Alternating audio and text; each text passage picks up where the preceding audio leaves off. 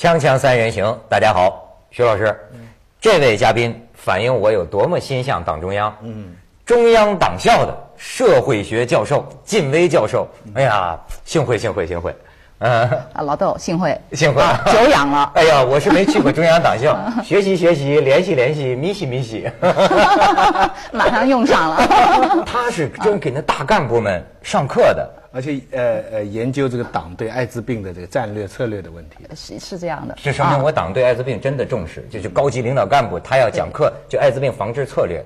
对对对，我们是从呃政策、策略、法律这个角度啊，就是它它的社会原因导致。艾滋病啊出现了这样的这个社会根源。另外呢，艾滋病出现以后会影对社会产生什么样的影响？据说他们对于这个扫黄跟这个性工业跟跟这个艾滋病也有也有判断。是的，是的。普通大众现在整个中国的社会层面呢，它实际上是一个是这个呃知晓率很低，相关知识的知晓率非常低。嗯。第二个就是因为无知导致的歧视是非常严重的啊。嗯嗯。那么这个歧视呢，它就会产生一些个人行为，比如说北京有一句话叫做。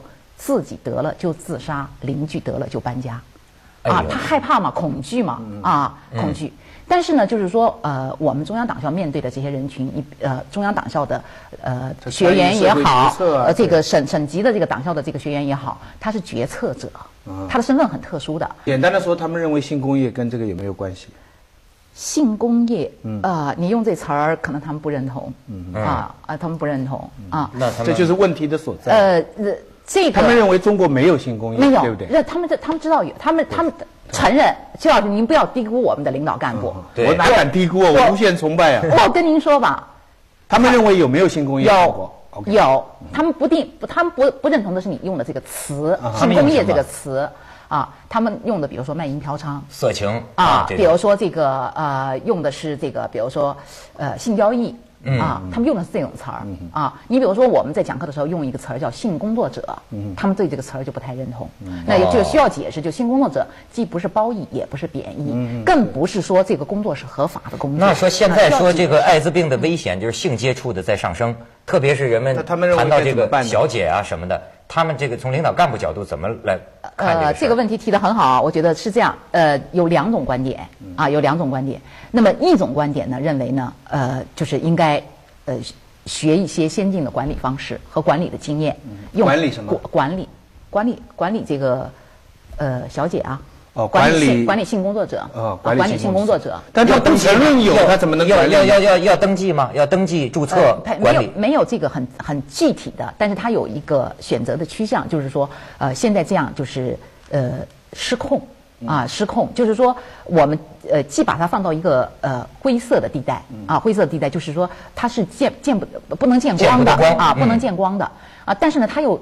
实实在在的存在啊！领导干部对这些问题他是有一个很清醒的认识啊，实实在存在。那么怎么办呢？他们觉得呢，就是比较好的办法呢，就是面对现实。嗯啊，邓小平、邓小平啊，或者是我们老面对现实该怎么办？实事求是，实事求是一个一个办法，就是用管理的啊方式。可是你既然是非法的，你怎么管理的？人都不见了，啊？到人吗？这这个能叫他们来打针吗？你说？不要给领导干部施加压力。是这样，徐老师。呃，不一定。我觉得，我觉得这个问题很大。你要是不当它存在，你怎么管理？是啊，这是这是一种观点。就是我们没有大气污染，我们怎么来治理大气污染？这是一种，这是一种观点啊。这种观点就是，呃，要用这种管理的思路来呃对待这个这个我们社会当中的这个特殊的问题。这是一种。还有呃一部分领导干部呢，认为就是要加大扫黄打非的力度。啊，消灭，呃，也不是消灭，就是说至少要遏制这种啊势头，不能让它无限的蔓延。这遏制得了吗？呃，无限的蔓延，呃，可能某种程度上就是是在相对来说，呃。是，它是能起到一定的作用的。反正说这个问题，但是感觉有点有有气无力，没 有没有，有点为难 教授啊。不是不是不是，行行行行，党党校的这个是正确的，没有没有，文涛是这样的，我告诉你，这里头有一个治根还是治本的问题啊。我我我不说有气无力，这个这两种观点实际上都是非常有说服力的啊。一种就是说啊，要我们要动脑筋。怎么样来管理这个东西啊？不能让它失控。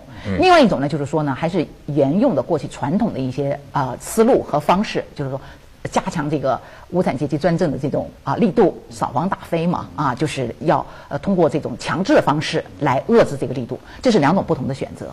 啊，两种不同的选择。领导哪哪一种，他他他都是他都有他的这个理论。就说这个还是是一个讨论的一个一个很重要的一个问题了。对，咱们也是别太为难人家金教授啊。没有，我没有觉得被为难。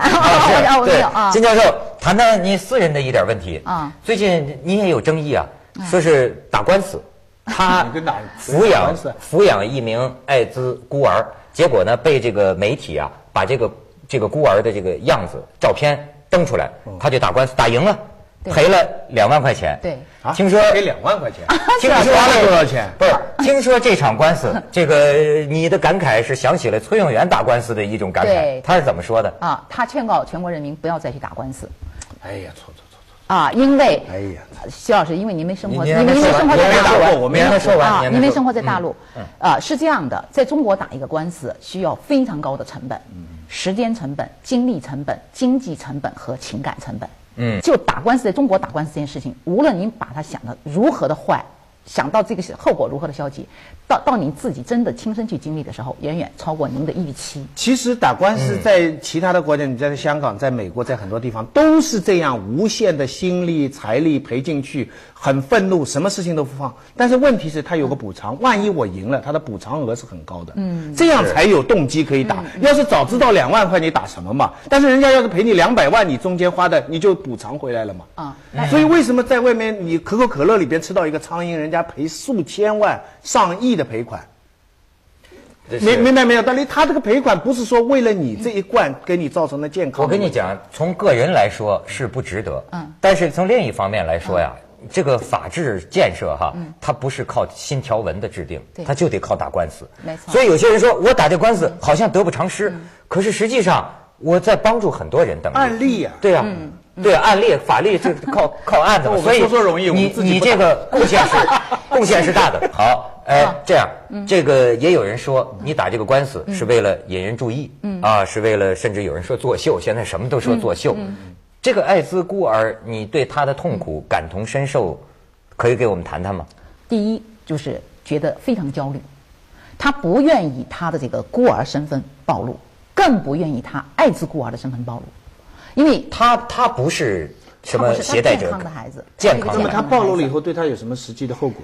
会啊，如果如果他的老师、同学和同学的家长知道他是一个艾滋孤儿，可他本身是没有任何病的。是的，是的，即使他是健康的，那么他这个身份特殊的这种身份，艾滋孤儿这种身份，就有可能让他失学。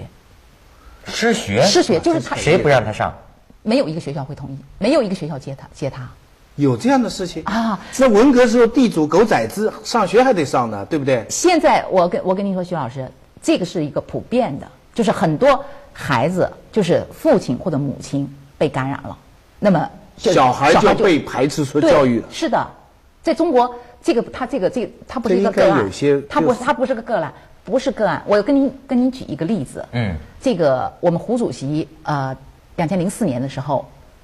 去这个啊医院，跟患者感染者握手啊，对中国艾滋病的这个防治进程啊起到了非常大的推动作用。嗯但是呢，跟我们胡主席握手这两个病人是山西闻喜县卖血感染的患者。嗯。呃，在我们媒体上，就等于就曝光了。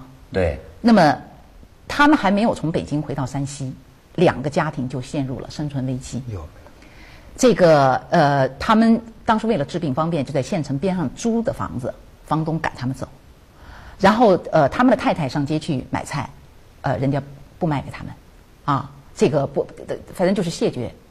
他们的孩子被学校的学生追打，你们家艾滋病，你们家艾滋病，把他的孩子坐的课桌椅子从教室里扔到教室外面，啊，这两家的孩子有一个十多岁的孩子精神上没法承受这个，走了。离家出走，就是就是胡锦涛握过手的这个病人的孩子。对，是的，这个事情是中呃中中国青年报，他有一个以以前有一个有一个专栏专门报过的这个，啊。所以啊，这个这是是妇联管的事情。这这这这这这挺难。咱们先去一下广告，再谈谈这个问题。我还有故事呢。锵锵三人行，广告之后见。说起来，见到这个靳教授，我也很惭愧。有时候你在媒体上说的话，我也看到了，说是说有些主流媒体经常是平常不提艾滋病，到每年十二月一号前后狂轰滥炸。我告诉你，现在正是这个日子，到了狂轰滥炸的 时候了，很惭愧。有一天炸总比一天都不炸好吧？对。不过他刚才讲的事儿让我想起，就狂轰滥炸呀。我不是看了很多东西，我看见最近也有一个挺有名，叫化名啊，叫孟林的啊，是写篇文章叫《面面具》。嗯，你知道，就是你会了解到他的一种生活。长期以来，一个艾滋病感染者，他双重身份，别人不知道。他去做生意，他就他一种曾经早期他处于什么状态啊？一边拼命做生意挣钱，是为了给自己买药，不断的换药啊，因为药也很贵。他处于这种生涯，那他能不能谈恋爱呢？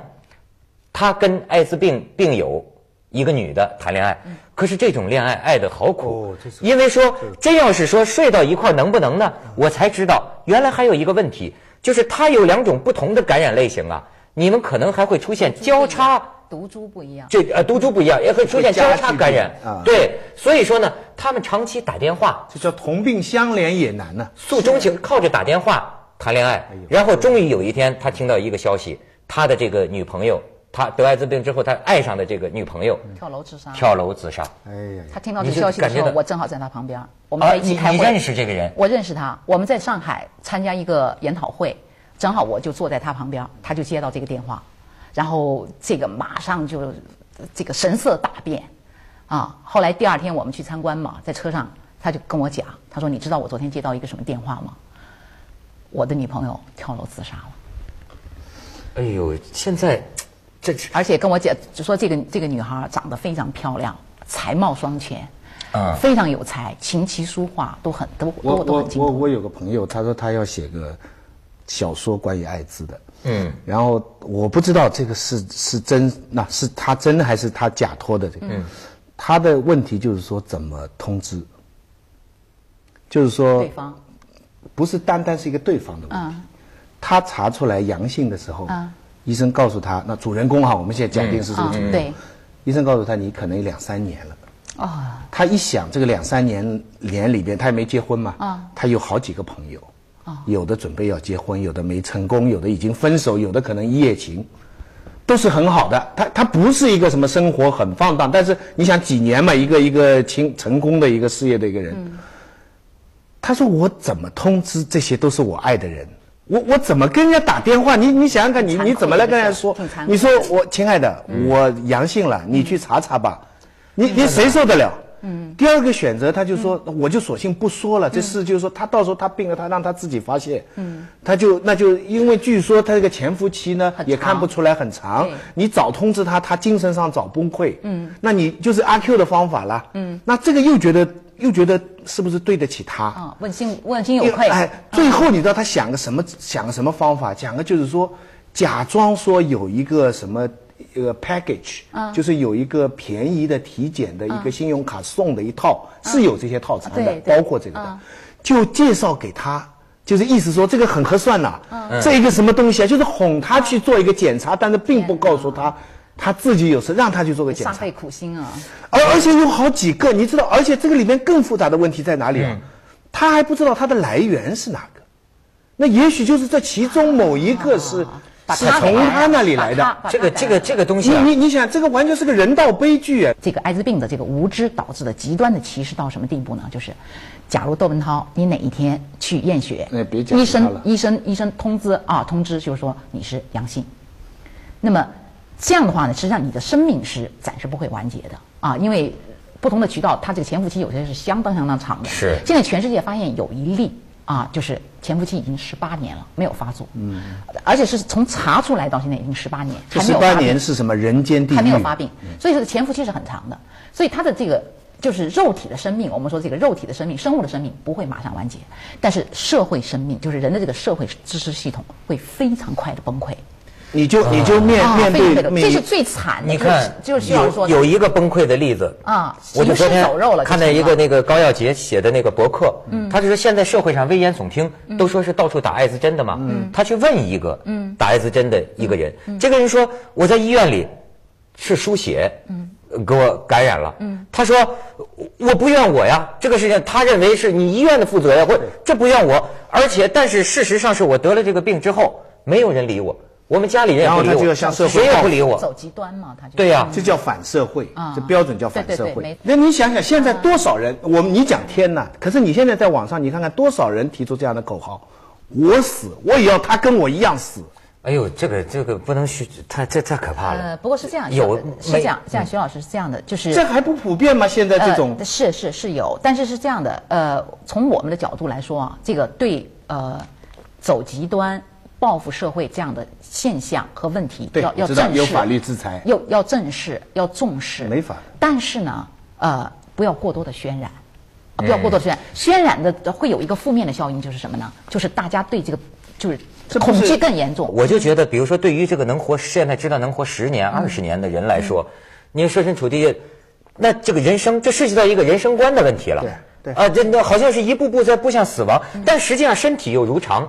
是但是实际上别人又歧视你。对对那么你说你怎么打发这个？怎么过前有涯之生啊？是是是的，是是的，尤其人性当中有些恶的东西会会极端化。不过你这官司打赢了，说明正义还是对，就是这样的歧视是不应该存在，对对？不存在。对，我觉虽然只赔了两万块，对那两万块是不重要，谁赔给你的？不重要。呃，报社啊报社主要是赔报社的错误啊，报社，因为报社你有这个，你要你要审啊这个稿子，这么大的照片，二十乘二十这样的一个特脸部特写照片登在第一版上，而而且把这个标题，他的这个艾滋孤儿什么什么大大字标题，下面就写了这个孩子的真名，嗯。啊，什么什么泪水不该属于这这张脸，就把他的名字写上去，而且这就是这样的报纸，就是这样的写，嗯，他说对开版他是好好意的，他是好意，他觉得他错是错在外面的反馈，对不对？他觉得不是那我问你，他如果在报纸上说这个孩子是 negative，他没他不是携带者，嗯，那这是算也也没官司应该打赶他出去的那个学校。中国真是这样，就是呃就是不是是是这样的，病在根上爪叶子。不不不不，徐老师是这样的，耳背是激素啊不是是是不是不是这么回事你你觉得这个记者没有错是吗？我不是说他没有错，啊但最错的是，因为报社只是说这个人不应该受到不公平的对待，对不对？对不对？但不公平来对待他，我明白你的意思，对不对？你要告学校，你不如说去告这个歧视的社会。徐老师不其实不是这个徐老师社学校是社会的一部分啊公民有权利，公民对自己的肖像隐私是有权利的。我的肖像，我的隐私我知，道你这个也有权利，你啊但是你不是在一个主要的问题上在在告他。嗯，嗯，那么普通的公民，你你暴露了我的隐私，暴露了我的肖像，没有得到我的许可，我也可以告你的啊。那么在这个这个这个孩子这个特殊的个案上，就是因为他有一种特殊的身份，所以他的这种特殊的隐私会造成对他造成特殊的伤害。所以我现在倒有另一种观点，我觉得打官司是社会公益事业。对，就是说啊，法治建设呀、得靠案子。咱谢谢谢谢，咱中国人谢谢谢谢。香港嘛，就有法援处，嗯，就任何人你想打官司，但是你没有钱，他们一审查你这个值得打，政府就给钱帮你打官司。就你到法院去，你要打这个官司，要给法院交，因为法它有行政成本，有办公成本啊。那么这个诉讼费呢，是输的一方来来出，但是我请律师，律律师费对方是不出的。肯定是得不偿失。但有的时候啊，一个人干得不偿失的事情，他未必是想着他自己，是吧？咱们去去一下广告。谢谢理解谢谢理解锵锵三人行，广告之后见。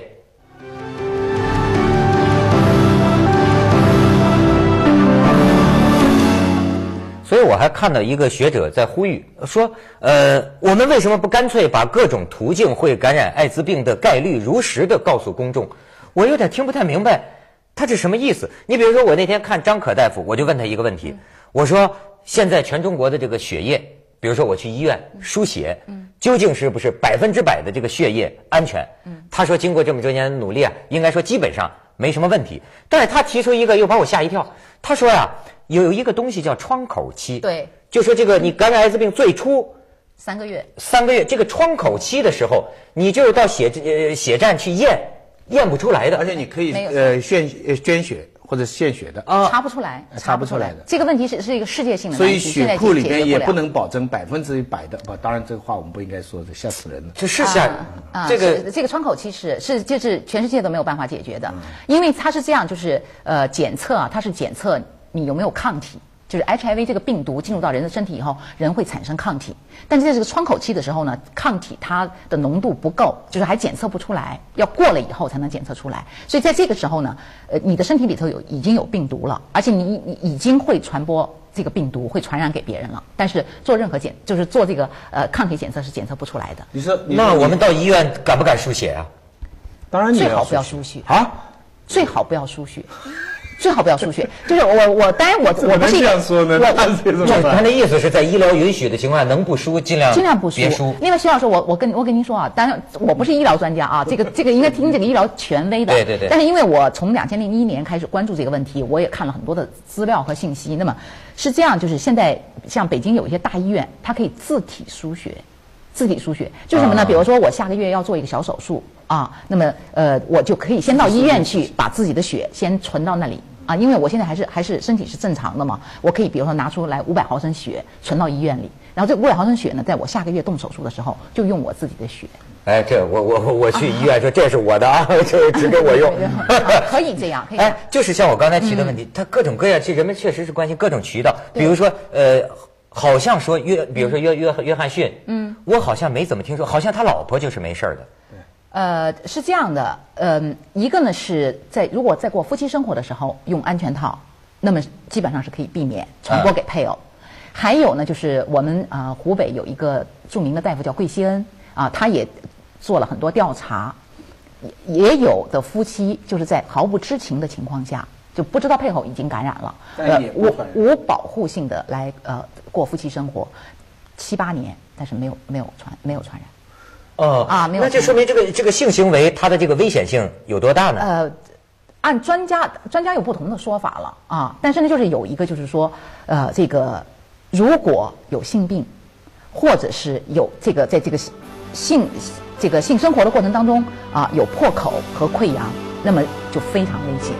但是正常的夫妻生活，大家都知道它是比较啊这个比较正常的一种方式进行的，啊所以啊可能夫妻生活如果是正常的夫妻生活的话，可能会啊相对来说危险性小一点。一九五四年这个避孕套的发明是人类伟大的成就。对对对，所以还得回到这个还是安全套万岁。